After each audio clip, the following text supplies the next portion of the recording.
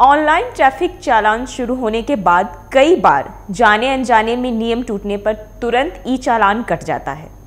किस्मत वाले हुए तो शायद इसका मैसेज आपके रजिस्टर्ड मोबाइल नंबर पर आ भी सकता है और नहीं भी। अब इसके लिए आपका मोबाइल नंबर रजिस्टर्ड होना चाहिए। लेकिन कई बार हमें इसका पता भी नहीं चलता है।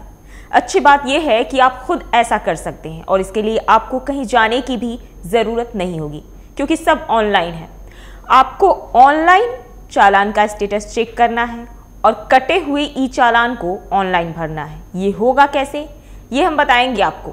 नमस्कार, आप देख रहे हैं न्यूज़ वर्ल्ड इंडिया मैं हूँ आपके साथ जो है। सरकार ने भारत में नया मोटर व्हीकल एक्ट लागू किया है, जिसके चलते ट्रैफ़िक नियमों को तोड़ने पर भारी जुर्माना लगाया जा सकता है। सरकार ने सड़क पर कैमरे और अन्य सेंसर भी लगाए हैं। जिससे अधिकारियों के लिए नियमों को तोड़ने वाले लोगों पर जुर्माना लगाना आसान हो गया है। इसलिए ज़रूरी है कि आप भी समय समय पर इसको चेक करते रहें। चलिए जानते हैं कि खुद घर बैठे कैसे आप ऑनलाइन स्टेटस चेक कर सकते हैं। तो सबसे पहले आपको e challan dot Parivahan dot G O V dot in पर जाना होगा। यहाँ आप चेक चालान स्टेटस पर क्लिक कीजिए। अब आपको चालान नंबर वाहन नंबर और ड्राइविंग लाइसेंस नंबर, यानी कि डीएल चुनने का विकल्प मिलेगा।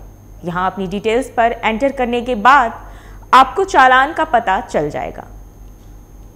अब स्क्रीन पर नज़र आएगा कि आपके वाहन पर ट्रैफ़िक चालान क्या है और उसका स्टेटस क्या है। अब ये भी जान लेते हैं कि ट्रैफ़िक चालान का ऑनलाइन भुगतान कैसे कर सकते हैं।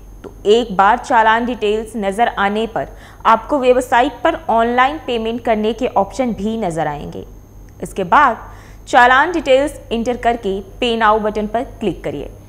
आपके नंबर पर भेजे गए ओटीपी से अपना मोबाइल नंबर वेरीफाई कीजिए। ऐसा करने के बाद आपको स्टेट के ई चालान पेमेंट वेबसाइट पर भेज दिया जाएगा, जहाँ आप पर फाइन लगाया गया है।